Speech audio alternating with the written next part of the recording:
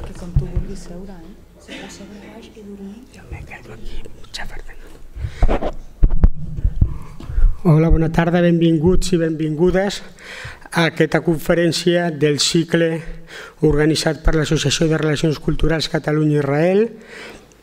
Avui tenim la satisfacció de presentar una conferència que crec que pot ser molt il·lustrativa d'aspectes de la vida dels jueus a Catalunya que no es coneixen, com és els textos aljamiats en judeu català i crec que són les dues expertes del país més preparades al respecte. A la dreta de tot, la futura doctora en pocs mesos, no? Anabel, Anabel i després la Montserrat Moreno també al costat, tot arribarà. I llavors doncs, han estat fa pocs dies a un congrés a Alcalà i també han, ens han deleitat parlant de, de les algemies judo-catalanes i la seva importància. I sense res més eh, us desitjo que vagi tot molt bé, gràcies. Bé, bona tarda vespre, gràcies a tots per venir, això en primer lloc, és el més important per nosaltres tenir un públic i gràcies a l'Andreu per convidar-nos una altra vegada més a venir. L'Anna i jo ja havíem xerrat en diverses ocasions pel Centre de Lectura de, de Reus, que també gràcies per acollir-nos una altra vegada. I d'alguna manera doncs, ens fa il·lusió estar aquí avui també perquè fem una xerrada juntes i bueno, és algo diferent i també motivador. Ens coneixem des de la universitat i bueno, fa gràcia fer alguna conjuntes.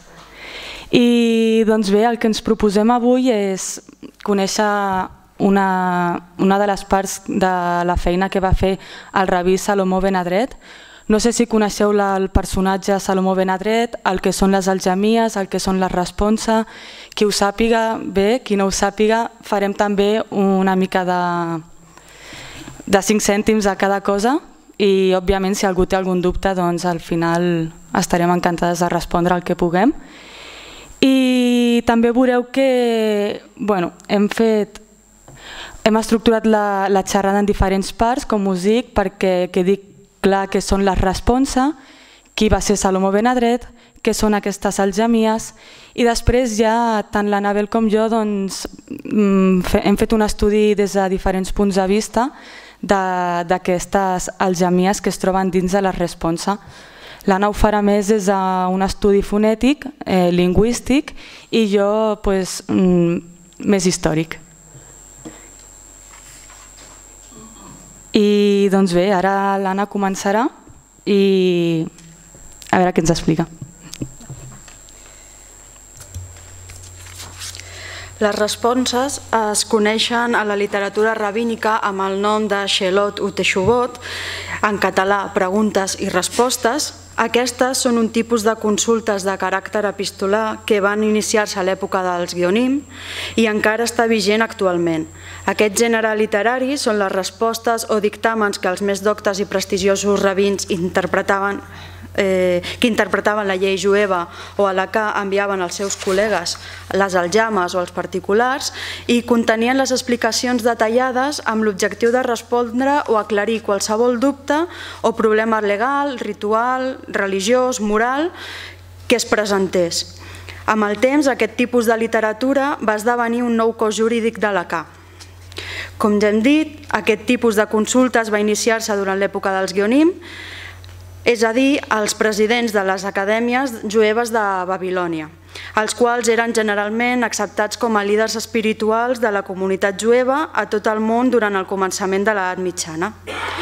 Aquests van jugar un paper decisiu en el procés de difusió i transmissió de l'ensenyament de la Torà o la llei escrita, de la Mishnah o la llei oral i especialment en l'establiment del Talmud de Babilònia com la única autoritat en la vida del poble jueu i que va dispersar-se cada vegada més eh, com a resultat de les conquestes islàmiques.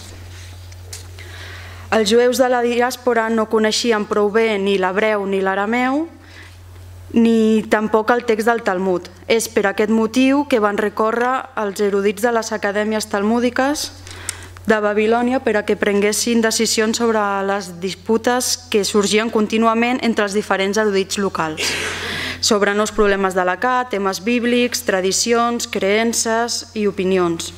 Les preguntes plantejades són generalment de tipus pràctic, sovint estan relacionades amb les contingències imprevistes que no havien estat prèviament detallades en els codis legals, de manera que les responses complementen aquests codis de la llei jueva. Funcionen com una font de llei o almenys com un precedent legal que pot ser consultada per aquells erudits rabínics que posteriorment han de prendre les decisions legals necessàries a les seves regulacions. D'aquesta manera, les responses poden ser incorporades als nous codis legals. En pantalla teniu una responsa d'un manuscrit del segle XIV del Xalomó Benadret. Eh, les responses van encapçalades generalment d'una primera part o xela, seria, no sé si es pot veure, això d'aquí, aquesta primera part seria la, aquesta primera part seria la, la pregunta, que conté una detallada exposició del problema o del dubte a resoldre i és la part que envien des d'altres comunitats a Xelomó. Aquesta va acompanyada de tots els detalls circumstancials que ajuden a matissar i centrar la situació. I la segona part, que és la teixubà o la responsa, és a dir, el responsum pròpiament dit, el rabí consultat. I seria a partir d'aquí baix fins aquí, perquè aquí tornem a tenir una altra pregunta. I aquí baix la resposta. El rabí analitza el cas que, se li, que li és sotmès amb, sota consideració i aporta un ampli ventall de cites bíbliques, talmúdiques o inclús d'altres texubot, o sigui, d'altres preguntes i respostes anteriors amb les quals fonamenta la seva opinió, decisió o dictamen final.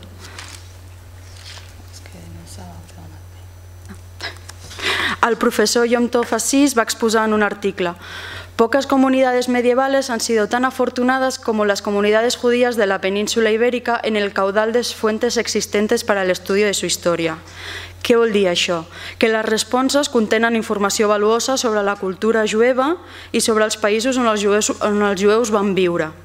Inclouen la solució als dubtes d'ètica personal, els negocis, les relacions morals i socials, les qüestions pràctiques de feina i d'oficis, de la casa, dels rituals de la sinagoga, les costums, les festes i també aborden qüestions més, més intel·lectuals sobre la filosofia de la religió, astronomia, matemàtiques, història, geografia, el funcionament dels diversos òrgans directius de les comunitats jueves, la interpretació dels passatges bíblics, de la Mishnah, debat sobre el Talmud, sobre la història del judaïsme. Com podeu veure, eh, contenen qualsevol cosa que pogués afectar la vida dels jueus en aquell moment.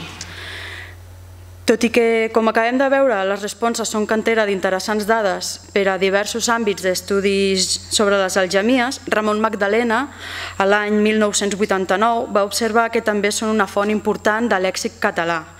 Vist doncs, l'interès i el valor històric de les responses en general, Passarem a concretar el tema que ens ocupa traçant el perfil biogràfic i el context històric del rabí Salomó Benadret, autor del corpus de responsa que hem escollit per a la present comunicació.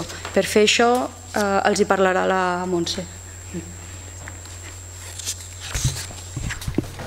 Eh, doncs bé, per ubicar-nos una mica en el context històric, eh, Salomó Benadret pertany al segle XIII i va néixer el 1235, va morir el 1310 a Barcelona i hem de tenir en compte diverses coses i és que tot i que el segle XIII és considerat el gran segle d'or del judaïsme català, eh, també van haver-hi diverses coses que van iniciar aquesta decadència.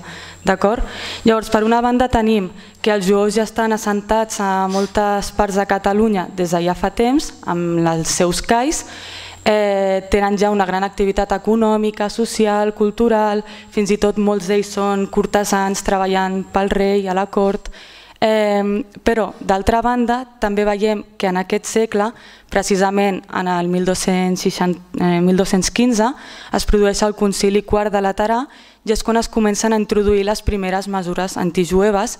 La més coneguda és, per exemple, la d'haver-se de posar la rodela eh, com a senyal distintiu. Ja en, anteriorment havien hagut altres, altres concilis amb ja mesures antijueves, però que a partir d'aquí ja comencen a ser cada vegada més i més intenses.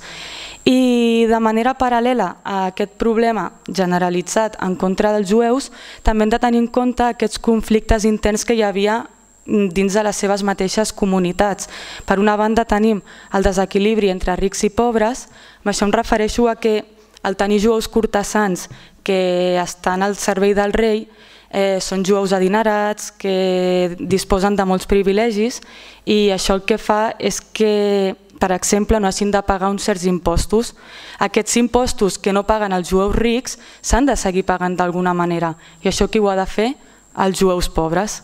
Això provoca un gran desequilibri que farà que les comunitats estiguin um, en baralles internes. I l'altre conflicte intern que trobem és, a, és aquesta disputa entre els jueus racionalistes i els conservadors. Eh, des que van arribar a la península, bueno, a la resta de la península, a, Cat a, la, a Catalunya, les idees del jueu cordobès Maimònides, que era més racionalista, diguem que no tan conservador, doncs a l'arribar a Catalunya tots aquests jueus que eren més conservadors, més ortodoxos, eh, no veien molt clares aquestes idees progressistes de Maimònides. Eh, qui eren aquests jueus eh, més racionalistes?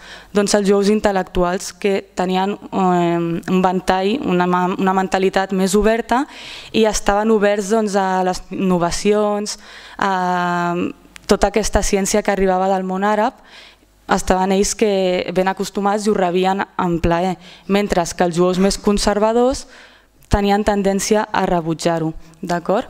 Llavors, dins d'aquest context és en el qual ens, ens mourem ara per parlar del nostre personatge, Salomó Benadret.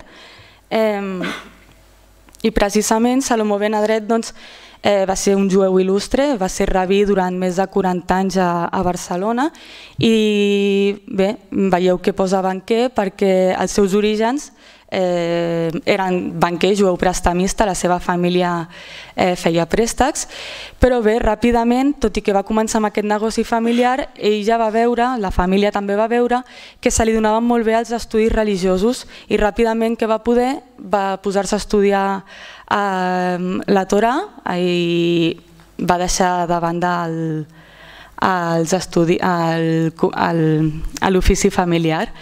I bueno, veiem que va fer molta cosa, va fer diversos tractats, comentaris religiosos, pregàries, eh, però una de les coses en les quals ell destaca sobretot és en la responsa, que és el que acaba d'explicar la meva companya. Ell té un gran corpus literari de responsa molt, extern, eh, molt extens, perdó. va escriure entre 3.000 i 5.000, tot i que algunes encara no es poden dir exactament que són d'ell, però se li atribueixen moltes. I bé, ell el que va intentar fer també en el seu dia a dia va ser intentar solucionar una mica aquesta lluita de classes internes i ell estava a favor d'una comunitat eh, elitista que formada pels millors jueus, val? integrada pels millors, però bueno, no era sempre fàcil d'aconseguir, sobretot perquè qui eren aquests elitistes, els que tenien diners. Per tant, els jueus pobres no s'identificaven amb, aquesta, amb aquest tipus de, de comunitat que ell desitjava tenir. I pel que fa a la polèmica maimonidiana, això que acabo d'explicar de la lluita entre conservadors i racionalistes, doncs Benadret es va mostrar una mica imparcial. Sí que tirava a tenir una tendència més aviat conservadora, però tot i així mm, no estava al 100% cap a l'ortodoxia. I aquest fet eh, també li va causar problemes ja que en diverses ocasions els més conservadors eh, el burxaven i li deien escolta que estàs sent aquí massa progre, si us plau, centra't. I això va ser el que el va portar a ell precisament a, a dictar aquest anatema l'any 1305 en el qual doncs, mm, va dir que tots aquells que tinguessin menys de 25 anys no podien estudiar ciències eh, ni, ni filosofia perquè segons ell s'havia de tenir un gran nivell d'haver après els estudis mínims, sobretot religiosos, per ja poder accedir als altres estudis com més superiors. Eh, perquè veiem la importància de Benadret, doncs veiem que ja al segle XIII eh, Isaac ibn al-Fawal, un jueu d'Osca, ja parlava d'ell, ja deia que aquests delegats de la comunitat de Roma es van dirigir cap a Barcelona i que ja es trobava el gran rabí Salomó Benadret. Eh, la importància de, de Salomó Benadret també perdura fins i tot avui en dia, eh, perquè se li estan oferint, bueno, aquesta ja és una mica antiga, però Barcelona li va dedicar una, una exposició molt interessant. Eh, tinc després per aquí el fulletó si algú té interès en donar-li una fullejada o si no també està per internet, d'acord? Eh, també és important la figura de Benadret perquè avui en dia Israel fins i tot també els que estan estudiant dret eh, miren tots aquests tractats de responsa per veure com eren durant l'edat mitjana, com, com es resolvia la llei d'alguna manera a, a l'edat mitjana. Eh, I parlant de la responsa, aquí tenim també un mapa molt interessant eh, perquè veiem com gent de tot arreu li, li enviava consultes al gran rabí, d'acord? Veiem que no és només a la península, sinó que per tot arreu, fins i tot a la zona de Palestina, Algèria, Marroc. Per això és normal que tinguem encara aquest recull de responses tan extens. Aquí veiem el fulletó, que és el que us dic que tinc aquí. I per finalitzar amb la figura de l'il·lustre rabí, eh, no sé si identifiqueu la zona, això és el CAI de Barcelona, el CAI Major, i bé, només dir que l'any 2018 es va canviar el nom del carrer que hi havia abans, el carrer de Sant Domènec del CAI, eh, per al de Salomó Benedret. D'acord? Es va fer com a acte de reparació històrica, però també d'altra banda va ser una manera de reconèixer la importància que va tenir aquest gran rabí a la ciutat de, de Barcelona. I ara ja, com us he comentat abans, ens posarem en, més en sèrio a parlar de lo que ens hem dedicat a fer cada una, d'acord? I l'Anna seguirà. No només el gran rabí Salomó Benadret va optar per utilitzar la paraula catalana quan se li feia difícil de, de trobar la paraula hebrea, sinó que també altres rabins com Isaac ben Sesset Perfet així com també Nissim ben Reuben a Girondí, van usar aquest mètode amb l'objectiu d'aclarir el significat d'un terme o d'un passatge complicat.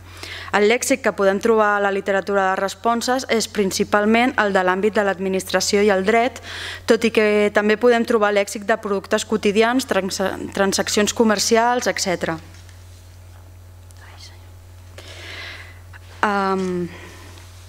Aquí podeu veure una de les paraules aljamiades, no sé si algú sap llegir hebreu o coneix almenys l'alfabet, es llegeix de dreta a esquerra i podem llegir la paraula advocat. La àlef seria la A, o sigui, la primera lletra, aquesta primera lletra es llegiria A, a D, B baixa en aquest cas, o una, un so de C, oclusiu, una altra A i la T, advocat. Està escrit en català, però... Sí, l'àlef famós, sí que és aquest àlef primer i aquest e, és el mateix. Això seria una algemia, és a dir, una paraula, en aquest cas eh, catalana, però escrita en lletres hebrees. Això també pot ser eh, en paraules castellanes, àrabs, eh, aragoneses, italianes, franceses, sempre se li diu igual, algemia. Ah. Uh, la meva feina, que és trobar aquest lèxic català dins de les responses, uh, just acaba de començar i per tant tot això que els diré és només un estat de la, de la qüestió i consisteix en buscar dites algemies dins dels dictàmens de Salomó Benadret i comparar-les amb les ja presents en altres estudis com els que poden veure en pantalla. Si a algú li interessa més això, a final de tot donem els nostres e-mails i jo encantada els hi passo la bibliografia que vulguin. Per a la comunicació hem utilitzat com a font del lèxic català dins de les responses l'article que va fer l'Eduard Feliu l'any 87, els mots catalans en textos hebreus medievals, els dictàmens de Salomó Benadret. En un futur podem Eh, esperem poder treballar amb la monumental obra Responsa Project de la Universitat de Barilan. Aquest eh, aquest projecte té digitalitzades les milers de Xelot Utexubot de Benadret, així com de tots els altres rabins i també té moltes altres obres, com el Talmud, tota el Tanakh, la Mishnah... S'encarrega de digitalitzar mm, pràcticament tots els textos hebreus medievals. Quan ens enfrontem a les algemies catalanes ens trobem amb diverses dificultats que esdevenen a l'hora de representar els sons catalans amb l'alefat o alfabet hebreu. A banda de la no correspondència fonètica i gràfica entre dues llengües, hem d'afegir els problemes d'interpretació de les paraules algemiades, especialment per la manca de vocals i per les diverses possibilitats de lectura de termes catalans escrits en caràcters hebreus. Tot i així, es pot arribar a trobar una, mm, amb relativa certesa la paraula no hebrea amagada darrere de les lletres de l'alefat, sobretot quan aquesta és donada com a equivalent perquè en algunes ocasions a aquestes glosses els acompanya la paraula hebrea, la as, que vol dir en llengua estrangera o romans. És a dir, posen um, l'algemia i al costat ve l'as i la paraula, la, la corresponent traducció a l'hebreu. De les dificultats amb què veiem que van trobar-se al transcriure els sons al català és la representació gràfica de les vocals compensada per les mater lectionis. Les mater lectionis són aquestes lletres d'aquí que són consonants però s'utilitzen també com a vocals. La, tot i que ara parlaré en més detall, normalment la A s'associa al so A i a vegades E, però sobretot la, la iot, aquesta coseta d'aquí, a la I i la E, la BAF a la O i la U i la HEI sovint també és la A. Tot i que tot i aquest fet, podem observar com van intentar de reproduir la fonètica catalana amb aquest sistema, tot i que amb ella no es pot arribar a representar els vuit sons del sistema vocàlic català, ni tampoc altres matisos com l'accentuació de les paraules o la tonalitat. Sovint trobem que hi ha absència de vocals, sobretot de la A i de la E, a l'interior de paraula, com podeu veure en pantalla, a les paraules portadora o eh, portadora, aquí faltaria un àlef, per exemple, entre mig d'aquestes dues lletres per poder llegir la A. Sabem que es llegeix A perquè coneixem el mot en català. Amb la següent paraula sí que veiem que han escrit la A, per exemple, però no s'ha transcrit el so E. I amb Senescal el mateix. La E, en cap dels dos casos, que hauria d'anar aquí i aquí, no hi surt, però en canvi la Àlef per representar la A sí. A vegades, però, trobem l'escriptio plena. Això vol dir que escrivien absolutament totes les lletres a les paraules. Com en aquesta paraula que diu curador. Aquí veiem la BAF que fa D1, l'Àlef que fa DA i la BAF una altra vegada que torna a fer DO. És mm, força inconsistent, ho feien segons les ganes que tenien.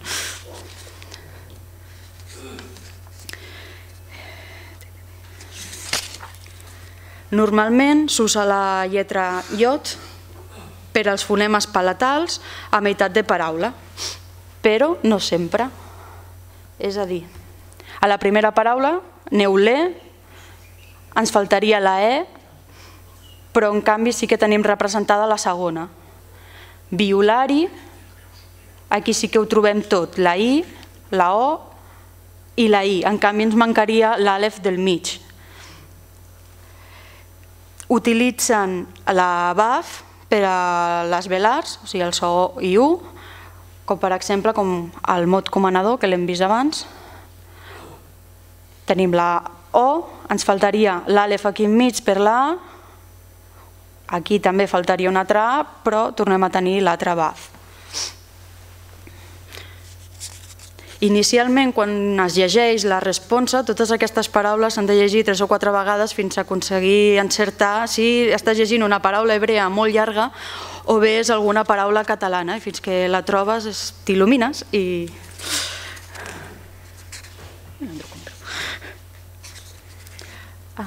Tot i que a vegades aquestes eh, paraules les trobem reforçades amb una àlef a l'inici de paraula per evitar la confusió de la BAF amb valor de la biodental fricativa. Per exemple, en aquesta paraula, oranona, per la BAF, com que és una semivocal, aquí fa de O, però si no tinguéssim l'àlef potser podríem llegir va o B com fos. Enmig de paraula sempre s'escriu la BAF pels sons O i U. El primer exemple, acurador, tenim totes les vocals, la O, la, perdó, la U, l'àlef que fa de A i la segona BAF que fa de O. A la següent paraula, a hostatges, tenim la BAF, ens faltaria l'àlef aquí enmig i aquesta iot que ens fa de I.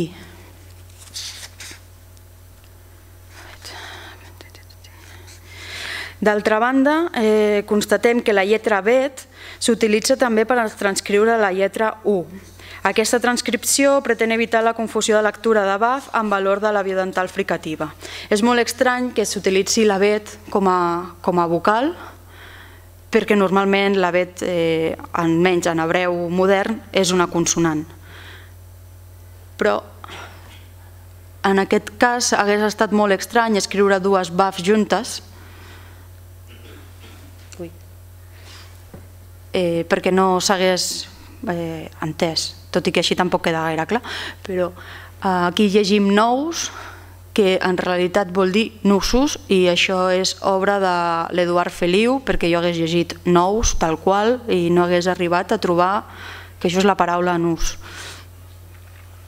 Uh, la següent paraula, neulé, trobem que la va fa també de u.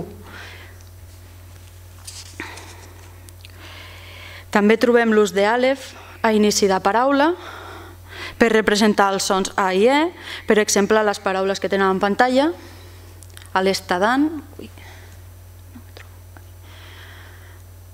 estadant, estupaci, que en realitat és el tupaci, i l'estorlau, que és l'astrolabi. Mm, al final de paraula es transcriu el so A indistintament amb la lletra Àlef o amb la lletra Hei i podem veure aquest fenomen als parells de paraules que tenen aquí en pantalla, com per exemple sola, on s'escriu... Perdó. Uh, aquesta és amb una Hei, en canvi a la següent paraula, Sitja, l'escriuen amb Àlef, Tudoria també ho escriuen en Àlef, però en canvi Sínia l'escriuen amb Hei.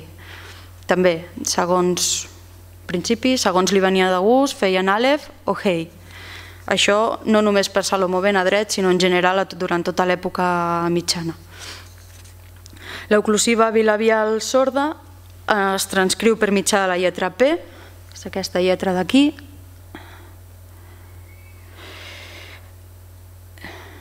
sense cap punt diacrític per diferenciar el so fricatiu de l'oclusiu que pot tenir aquesta lletra, o sigui, en valor de P o de F. Normalment, en hebreu modern, la P duria aquí, a veure, aquí enmig, un puntet que marcaria el so P. Si no hi ha puntet, es llegeix com una F. Aquí tenim escrit Pren Meguet o Rep Meguet de Montmarit com podeu veure, el so és el oclusiu. En canvi, a la següent paraula hi ha escrita la paraula fres, amb valor de fricatiu. Normalment, a l'època mitjana, en lloc de marcar-ho aquí enmig, és possible que a vegades hi hagués el diacrític just a sobre de la lletra. Aquest mateix fenomen de de no marcar la diferència entre la P i la F l'observa Esperança Valls als documents catalans de l'Arxiu Històric de Girona i a En canvi, eh, l'estudi que van fer Ramon Magdalena i Coloma Lleal sobre les algemies catalano-aragoneses dins de les responses d'Isaac Ben Perfet, Ben Sheshet Perfet, troben que en aquestes responses aquest rabí sí que marcava sempre quan la P era en valor oclusiu. També observem alternança entre la Bet, que és aquesta lletra d'aquí, i la BAF a inici de paraula, és a dir, l'escrivien indistintament una o altra segons volien. Per exemple, a violari, amb BAF, però en canvi volta amb B. Jo no ho sé fer bé, però ui, la B és més forta i la VAF és més sonora. Seria violari, no tan marcat, però perquè ho notin, i volta. I enmig de paraula, el so labial sonor només està marcat amb la lletra bet. Aquí tenim advocat, que és la paraula que hem vist abans, i a sota morabatins. Per sort, morabatins està completament marcat amb totes les vocals i ens fa una mica més fàcil la seva lectura.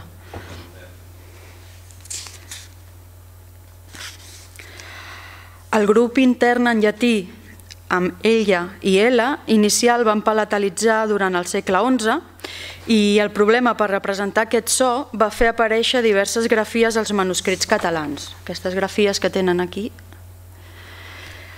Tot i que en la majoria dels estudis d'algemies catalanes coincideixen en que la transcripció hebrea rarament transcriu aquest so, a les algemies de Benadret podem trobar la seva representació mitjançant el dígraf iot, aquest iot més l'àmet, els dos junts. Això ho podem veure en aquesta paraula, gonella. És l'única paraula que hem trobat de, de moment. El més habitual és transcriure amb la lletra TET els termes algemiats amb oclusiva dental, com poden veure aquí en pantalla. La TET és aquesta lletra d'aquí, i aquí tindríem la paraula sendat i a sota la paraula tudor que en realitat vol dir tutor. Hi havia confusió també entre el so tet i, bueno, tet, t i d.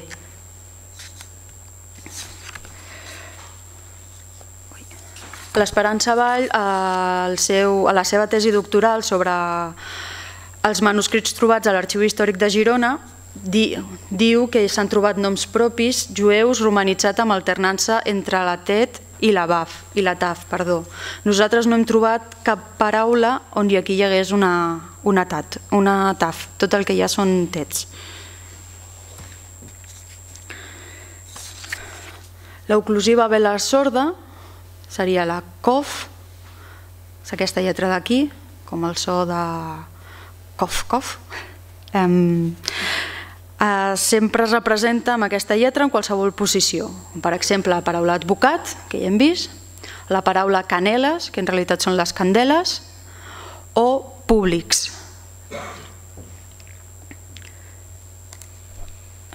En el nostre petit mostrari de lèxic no hem trobat cap paraula amb la lletra CAF, que és una altra lletra de l'alfabet hebreu amb el que es podria fer també aquest so.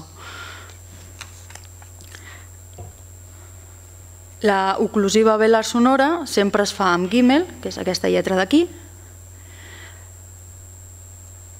i trobem la paraula, per exemple, renegat. Seria aquesta lletra se faria el so de gat o get o no sé, gamal, que vol dir camell. Trobem l'ús de la sin o la samer amb valor de fricativa alveolar sorda a l'inici de, de paraula, perdó, el de la sin, sí. Sessió, això seria com una S, i sola també. En hebreu medieval sovint no es marcava tampoc cap dígraf en aquesta lletra, però en hebreu, en hebreu modern, si aquesta lletra la trobem amb un puntet aquí, tindria el valor de shin, com Xavier, i en canvi m'he perdut. Si el puntet el trobem aquí, seria d'una S.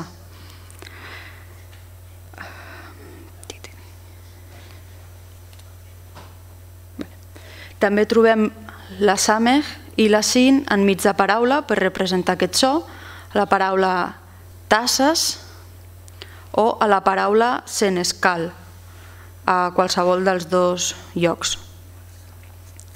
O sigui, és a dir, tant a principi de paraula com enmig de paraula. L'oclusiva, no, fricativa postalveolar sempre es marca amb, amb la guimel, com hem vist abans. No, perdó, no ho hem vist. A Girona, aquest so, sempre es fa amb la guimel. En molts manuscrits no del Benedret, però d'altres manuscrits medievals, es troba la guimel amb un puntet a sobre per fer aquest so de G. O, sí.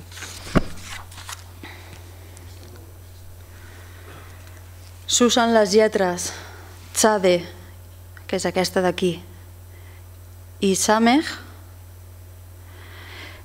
per transcriure les paraules que en els textos catalans s'escrivien amb grafies vacilants, com amb, o sigui, entre la C trencada i la C no hi havia un consens encara per representar-les, per escriure-les, i per això utilitzaven el so africat alveolar sort. Aquest so va anar evolucionant a fricatiu fins a confondre's amb aquest. Coromines opina que abans del segle XIII la consonant africada es conservava en tot el territori de la llengua catalana i que en aquest segle va ocórrer el procés de desafricadització, crec que aquesta paraula me l'he inventat, però ja m'entenen, al llarg de la costa mediterrània. És a dir, Aquí es llegiria barcelonès segons um, l'hebreu modern, però en canvi és probable que durant aquesta època llegissin barcelonès. En aquesta tenim de Samar o de Yamar i la última Sendat. Irene Garbell conclueix que l'Atzade entre els segles XIII i XIV estava en un estadi de transició entre l'africada i l'africativa i recull el testimoni de diversos gramàtics com Profiat Duran i Simon Benzemach Duran que opinen que els jueus de terres catalanes no feien cap distinció fonètica entre l'Atzade i la Samer, és a dir, totes dues representaven el so S. I podem veure aquesta alternància entre les responses, eh, dins de les responses de Benadret amb els termes aquests que acabem de veure, barcelonès o de Samar i Sendat.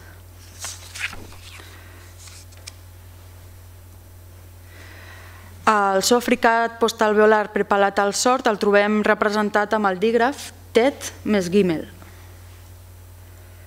Aquesta és la tet més la gimel i això seria hostatges. I la de baix galotxes. Com poden veure, són paraules superfaciletes totes de descobrir dins del context. La nasal bilabial i la, la biodental sonores es transcriuen amb mem, com podem veure aquí, a mar o a moret, que en realitat, i també segons l'article de l'Eduard Feliu, mm, això hauria de llegir-se morat, al color. No tenim cap cas amb mem sofit. La mem sofit en hebreu hi ha una grafia per la M, o sigui, tant a inici de paraula com enmig de paraula, però a final de paraula té un altre tipus d'escriptura, de, que m'he oblidat posar-la per ensenyar-vos-la.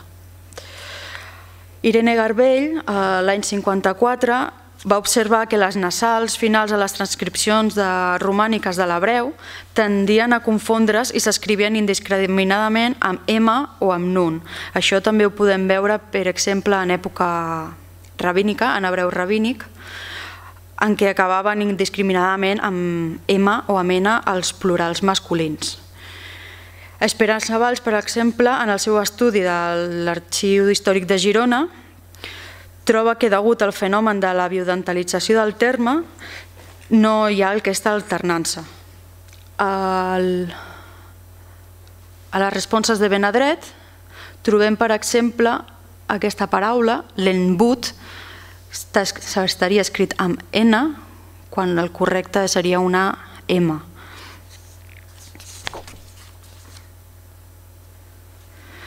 El so nasal alveolar sonor generalment ens transcriu amb nun o amb la seva corresponent final nun sofit, com poden veure les següents paraules. Això és el mateix que passava amb la mem. La nun s'escriu així a inici o a de paraules, però en canvi hi ha una grafia diferent per quan la paraula, per final de paraula. Això seria albaran, amena, al final, estadant, i aquesta paraula que ja l'hem vista, neuler.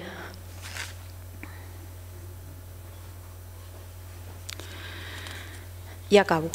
Com hem vist, les múltiples variacions de les grafies dels textos catalans medievals en una època de desestabilització de la llengua catalana, tant en els textos cristians com en els hebreus, així com en el petit corpus lèxic que hem analitzat, no ens permeten, no ens permeten d'establir unes regles formals i constants de transcripció medieval.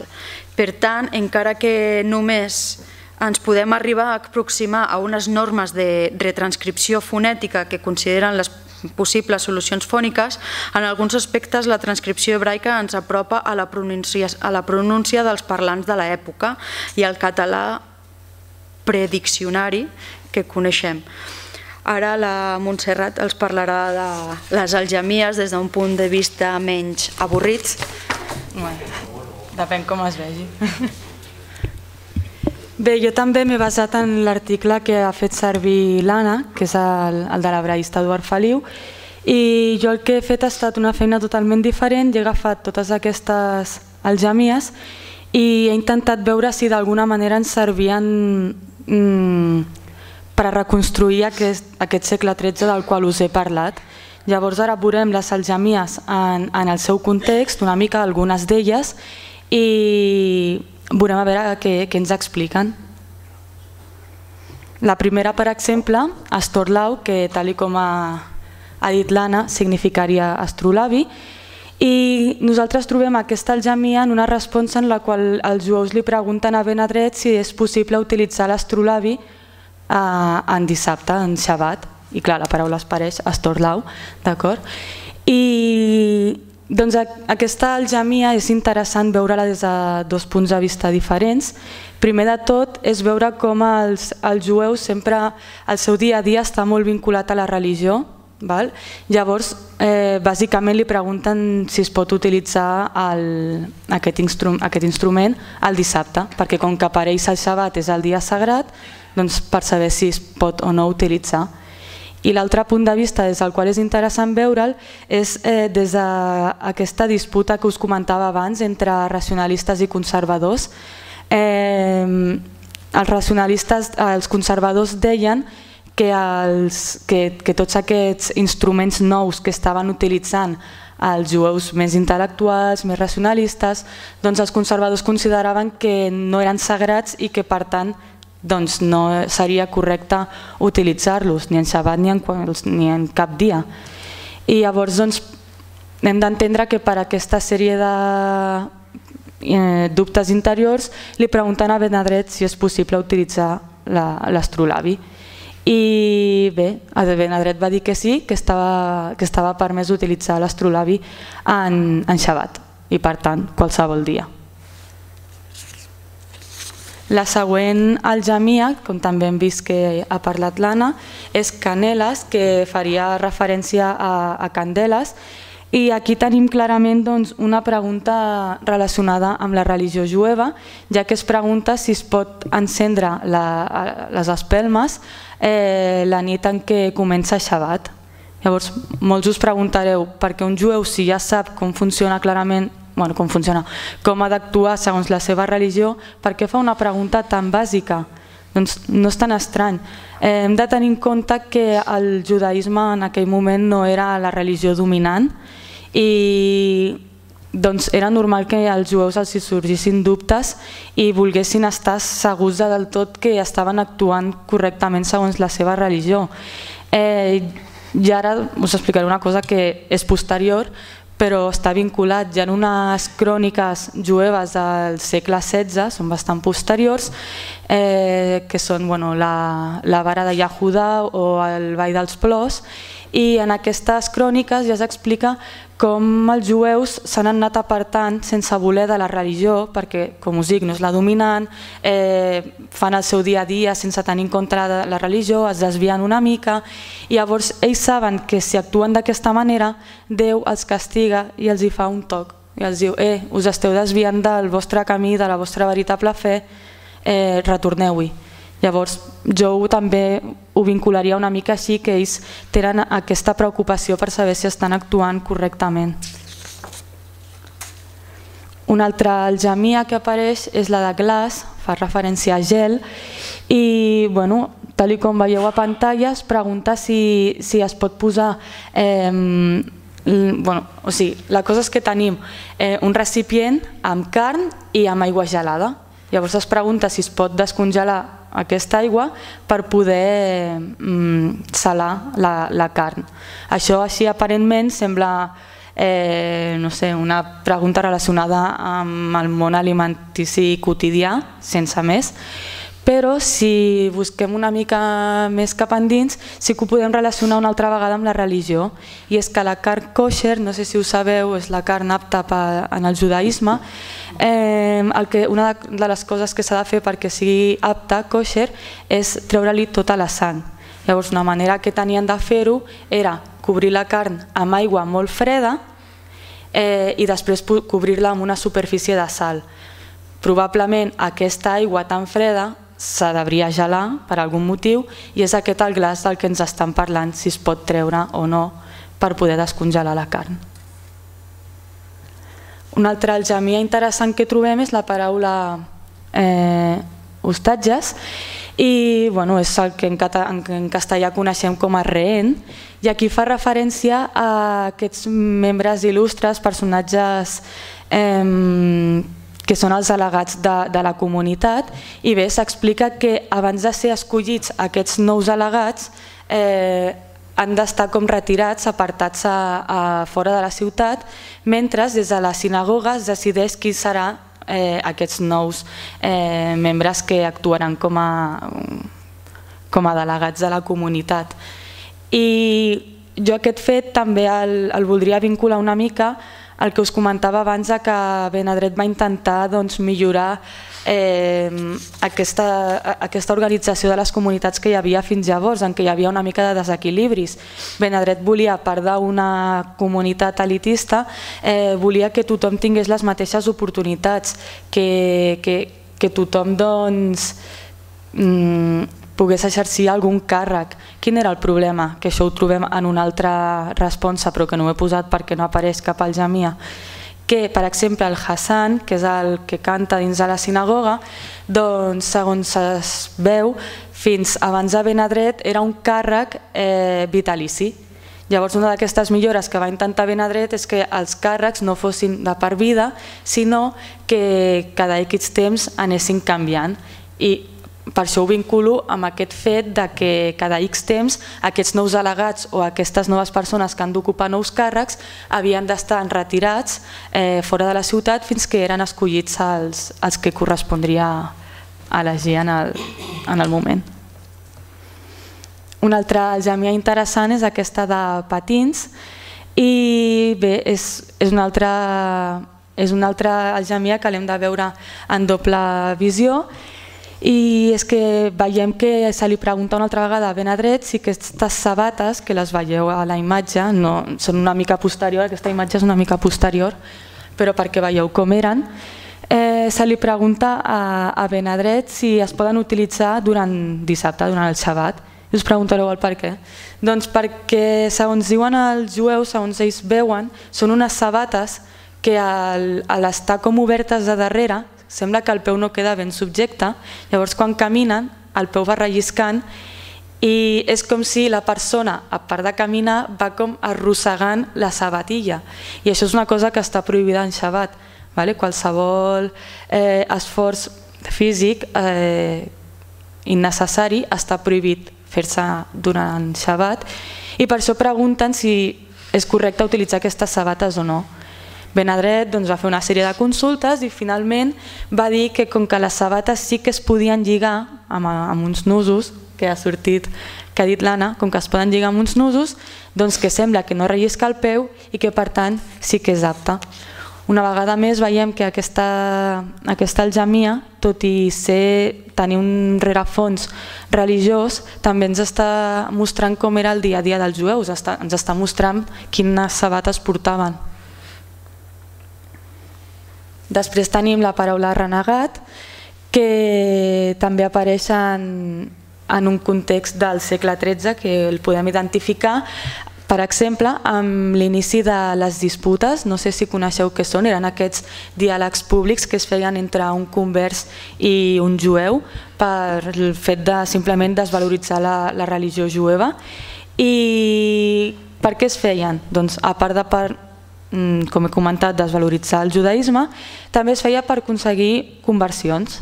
Què passava? Que quan un jueu es convertia, doncs en un principi ja no estava massa ben vist ni pels cristians, perquè consideraven que era una conversió falsa i que seguien sent jueus, i tampoc estaven ben vistos pels jueus perquè consideraven que havien abandonat la seva religió, i això els hi feia mal i sempre els estaven com tirant en cara.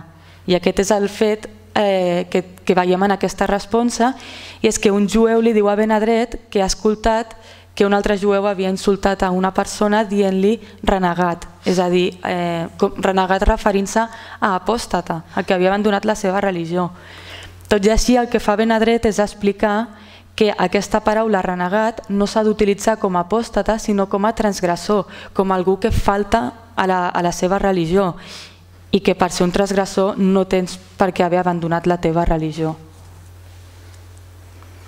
Després una altra paraula interessant és aquesta de tasses, una altra vegada ho trobem eh, dins d'un context religiós, i és que se li pregunta a Benadret si les tasses que s'utilitzen mm, en el dia a dia durant l'any també es poden utilitzar per Pasqua, per Pesach.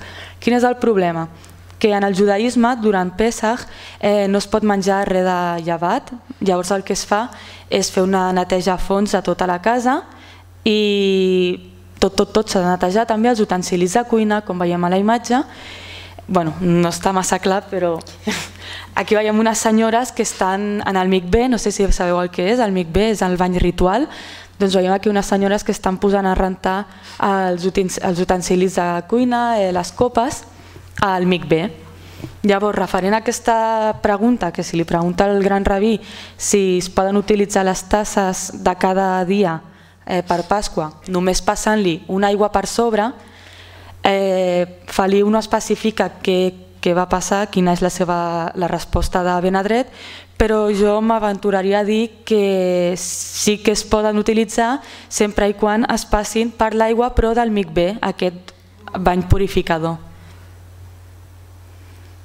I bé, l'últim exemple és aquest de la mezuzà, no sé també si coneixeu el que és, eh, Avui en dia el que es veu és, bueno, avui en dia aquí a Catalunya, eh, el que queda d'època medieval és el forat que veiem als llindars a la porta, si anem a Israel o a qualsevol lloc on, on sigui del món, que sigui un local o una botiga de propietat jueva, ho veurem com és avui en dia, que és una caixeta que està al llindar de la porta i a dins inclou una oració. Doncs el que se li pregunta ben a dret és si bueno, com he comentat, la mesussà es fica al llindar de la porta i a Benadret se li pregunta si en l'entrada d'un passatge, que no és ben bé una porta sinó que és una volta, un arc, si també s'ha de posar allà la mesussà o no. Eh, Benadret el que contesta és que s'ha de seguir la normativa que explica el Talmud de, de Babilònia. Eh, I ara explicaré, per exemple, una de les problemàtiques que ens trobem a, pel que fa a, a l'estudi de, de la responsa i d'aquestes algemies també. Quan agafes una, una responsa per estudiar-la, hi ha sobretot dues problemàtiques. Una d'elles és que normalment no t'apareix el joc d'on venen o, o, o sigui, el joc d'on venen o on van dirigides i és pel fet que aquestes correspondències, aquestes responsa s'enviaven normalment per un únic missatger eh, la comunitat que l'escrivia li donava a un jueu missatger que sabia que marxava a Barcelona i quan arribava ell li donava a Benadret. Llavors doncs, eh, sí que hi havia un, eh, no sé, un procés de, entre emissor i receptor, però era una única persona, suposadament el missatger. Llavors, com que era algú tan directe, en principi no feia falta posar d'on venia i on anava. És per aquest motiu que moltes vegades en una resposta trobem això. En aquesta ciutat que fa frontera entre Castella, Aragó i Navarra, s'utilitza tant la moneda de Castella com la d'Aragó en les transaccions comercials. I després fan la pregunta i és com, vale, però a què et refereixes? Clar, per exemple, en la resposta de l'astrolàbit també ens serveix per saber que, que en les diverses zones, mm, bueno, territoris catalans, ja s'utilitzava l'astrolàbia al segle XIII, però tampoc saps específicament a on. Podem dir-ho en general. D'acord? I l'altre problema en el que, que ens trobem també és que tampoc estan datades. D'acord? Llavors, com sabem la datació? Doncs gràcies a, a l'autor. Si sabem que Benadret és al segle XIII, 1200 i alguna 1300 i alguna doncs podem aventurar-nos a dir que les responses que ell ha escrit són de la mateixa època. Si no, també, en algun cas, veiem que alguna responsa fa referència a algun fet històric que també el pots vincular al segle al que estem parlant. Per exemple, en una de les, en una de les responses que no està aquí posada, es parla de, de la rodela, que us he explicat fa referència a aquest senyal distintiu, llavors doncs, ja pots saber que també per l'època en la que es parla és del 1215 o cap endavant. Eh, I sí, bueno, ara ja per acabar, i bé, només dir això que les responses doncs, eh, pel meu parer són, són difícils a interpretar i per això és important utilitzar totes les fonts de l'època que ens trobem. D'acord? No, no només eh, agafar la resposta i vale, ja puc explicar com era el segle XIII o el segle XIV, no. S'han d'agafar totes les fonts que existeixin i anar-les comparant i aprofitar-les totes. Per exemple, eh, hi ha una resposta que parla d'un mal sí, d'un xivato que va ser acusat i gràcies a, a un document de, que es troba en un arxiu es pot saber fins i tot quin era el nom d'aquest mal sí i de quina manera va ser executat d'acord? Aquí perquè veiem una mica la importància de com es, van, de com es complementen aquestes fonts per l'estudi de, dels jueus medievals catalans. I bé, ara per... per ah, bueno, també dir això, que a l'edat mitjana tampoc era important que estiguessin datats o que es posés un lloc perquè en veritat eh, el que es volia fer amb aquesta responsa era que fossin eh, com un corpus de consulta generalitzat, que pogués utilitzar-lo qualsevol jueu que tingués aquest dubte, ja fos a València, de Terol o de Palestina. Val? Per això no, no preocupava que no estiguessin ni datats ni ubicats. I per concloure, la literatura de responsa, com hem dit, és exclusiva del poble jueu, no hi ha res semblant en la literatura d'arreu. Són una crònica peculiar de l'època i transmeten informació històrica a banda de que els hi devem una gran aportació lingüística en quant al lèxic català gràcies a les algemies, tal com hem explicat. Moltes gràcies a tots.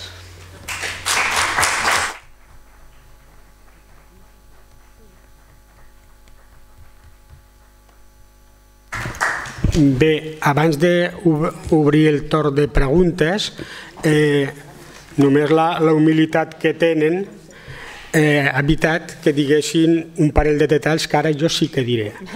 Eh, a, final, a final, segurament, a final del segle XIX, els primers hebraïstes com Neumann i el segle XX Baer eh, tots estrangers, van dir que no hi havia manera de conèixer la història real dels jueus catalans fins que aquestes fonts no es treballessin. Per tant, ens trobem al segle XXI que algunes persones s'hi dedicaran a traduir aquests documents que ells no podien traduir i que, per exemple, un hebraïsta que visqui a Tel Aviv no podrà traduir si no domina el català i el català medieval. Per tant, dit això, moltes gràcies i si algú vol fer alguna pregunta, que aixequi la mà. Bé, heu citat, gràcies, heu citat l'escola o l'autoritat de, de Babilònia durant l'edat mitja. Heu donat fins i tot el nom o d'aquesta autoritat. Però a mi se'm perd. Ens podríeu situar una mica, perquè sabem el tema de, de Babilònia quan va, va haver els llibres històrics, no? quan va haver Pollastre I, el cult ibèric, però aquesta època medieval a què respon aquesta autoritat?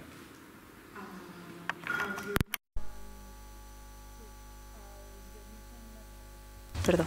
Els guionim són les autoritats eh, talmúdiques que van haver-hi a Babilònia a partir del segle IX, no, perdó, fins al segle IX. Perdó.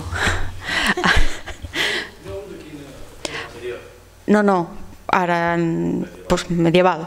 A partir del segle... Bueno, ja amb, la primera, amb el primer exili a Babilònia ja molts jueus van quedar-se allà i van haver-hi com eh, dos grans centres, una a Eretz Israel i l'altra a Babilònia.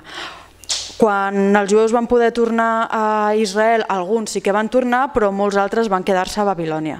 A partir del segle, a partir de l'any 70, amb la destrucció del temple, eh, els jueus, um, com que van haver de dispersar-se per tot arreu, van veure com uh, la Mishnah o la llei oral podia perdre's entre els jueus. Aquesta llei eh, que segons els jueus va rebre's també al món Sinaí igual que la Bíblia, o sigui, per una banda tindríem la Bíblia o el Tanakh, que seria la llei escrita, d'altra banda la Mishnah o la llei oral, la llei oral fins a aquell moment només podia passar-se oralment i llavors a partir del de l'any 70 els jueus van dispersar-se i alguns rabins van considerar que aquest, mm, aquesta manera de passar les lleis de boca a orella d'una eh, començava a perdre's, una mica com el joc del telèfon, en què jo et dic una cosa, tu li dius a un altre el que has entès i així la cosa se lia.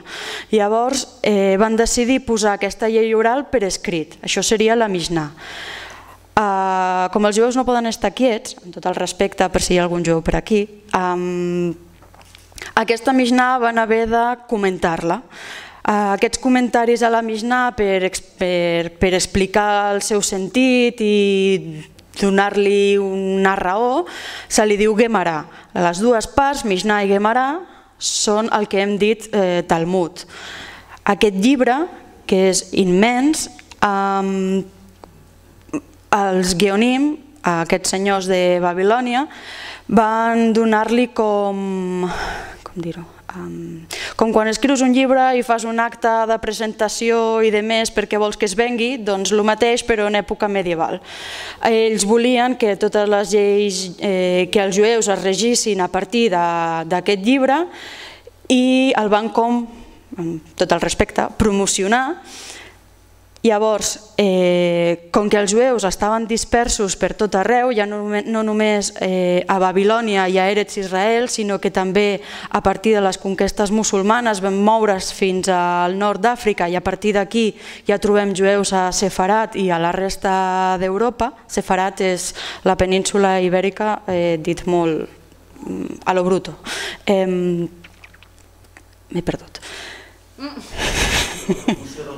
Gràcies. Uh, això, com que hi havia gent tan dispersa, no tothom havia pogut conèixer què era exactament el Talmud, ni havia pogut anar a les yeshivas, que són les escoles talmúdiques, i llavors van començar a haver-hi uh, aquests dubtes entre els jueus de com havien d'actuar, què deia exactament eh, la Torà i com la Torà escrita feia eh, milers d'anys, com podien eh, portar-la al terreny medieval. Tots aquests dubtes són els que resolien aquests, aquests guionim, aquests rabins que eren els, els més erudits, els més importants i els que eren els caps de, de, de les acadèmies de, de Babilònia, que eren els més importants en aquell moment.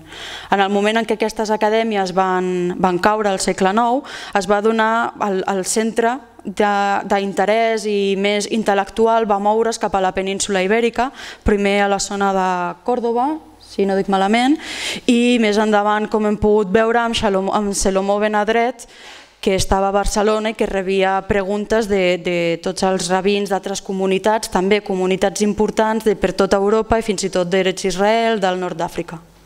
Sí? No sé si m'he extès massa, si...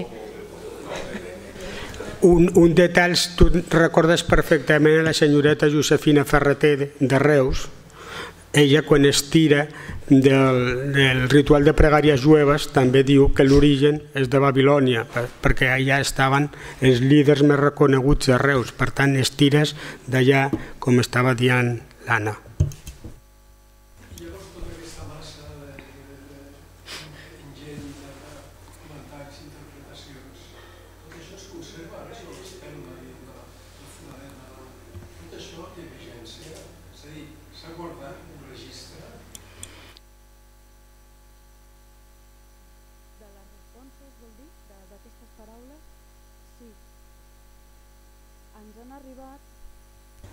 Ens han arribat eh, totes, bueno, no sabem si totes les responses, és a dir, Xelomó Benadret ell no copiava les seves responses i les guardava, sinó que els seus deixebles les van copiar eh, en, com per exemple en aquest manuscrit del segle XIV, eren els deixebles qui copiaven aquestes responses perquè es mantinguessin i així en un futur, si algú volia fer-les servir, que estiguessin allà.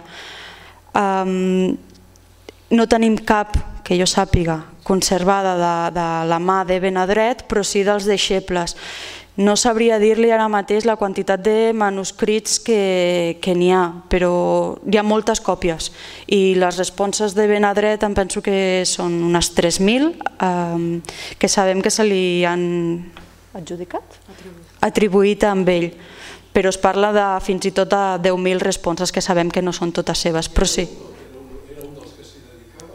Sí, però va ser un, un molt rellevant i per això en té tantes.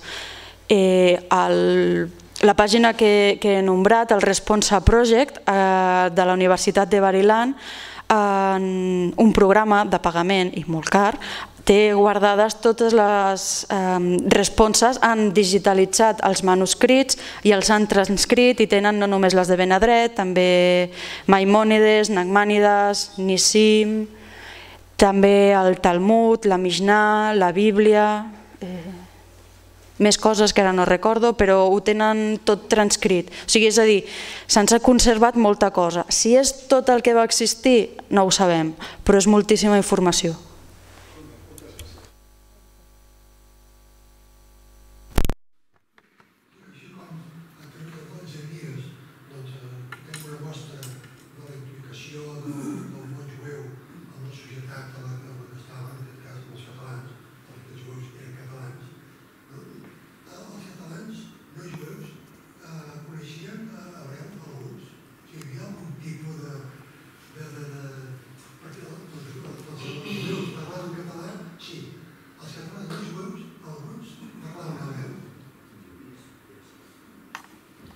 No sabem així cap cas concret, però segurament algun monjo, algú dedicat al món eclesiàstic, sí que, sí que sabia hebreu. Tu coneixes tenim, algú? Tenim les notícies de, tenim ah. les notícies de Poblet de que hi havia monjos que volien aprendre hebreu i que van aprendre hebreu de jueus.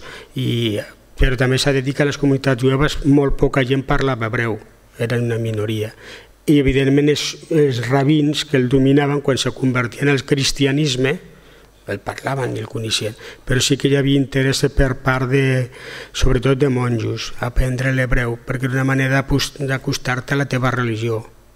Aquí a Catalunya tenim molts, molts documents i sobretot els de Poblet, que reconeixen que és, durant diversos segles els frares de Poblet, alguns d'ells aprenien l'hebreu dels jueus de Santa Coloma, de Montblanc i de jocs veïns, per això era general. Uh, al segle XIII, i canviant una mica de país, a França, a la primera disputa, com ha dit la meva companya, entre jueus i cristians, abans d'això, els cristians sempre intentaven explicar-li al jueu que estava equivocat en la seva fe, però sempre des del punt de vista de, de la Bíblia. És a dir, els deien que eh, li havien de fer cas al Nou Testament, que suposo que saben que els jueus al Nou Testament no li fan cap tipus de cas, això és només una cosa cristiana. Llavors els cristians els deien que el Messies que els jueus tant esperaven ja havia arribat, que aquest era Jesús i els hi intentaven convèncer de que estaven equivocats en seguir la, la, fe, jueva, la fe jueva. Durant el segle XIII, eh, un convers, o sigui, un jueu que s'ha passat al cristianisme, li va enviar al papa Gregori IX eh, diferents passatges del Talmud, o sigui, és a dir, um, del llibre aquest que he dit tan important, que té Mishnah i que té Gemara i pel qual els jueus es regeixen, li va dir al papa Gregori que en aquest llibre, que és superimportant pels jueus i que els cristians desconeixen, eh, que és blasfem. A partir d'aquest moment, els, això ens aporta que, primer, els cristians no sabien de l'existència d'aquest llibre o si el coneixien no li donaven la importància que realment tenia per al món jueu i a partir d'aquest moment eh, s'inicia tot un, un procés d'intentar eh, comprendre què és aquest Talmud.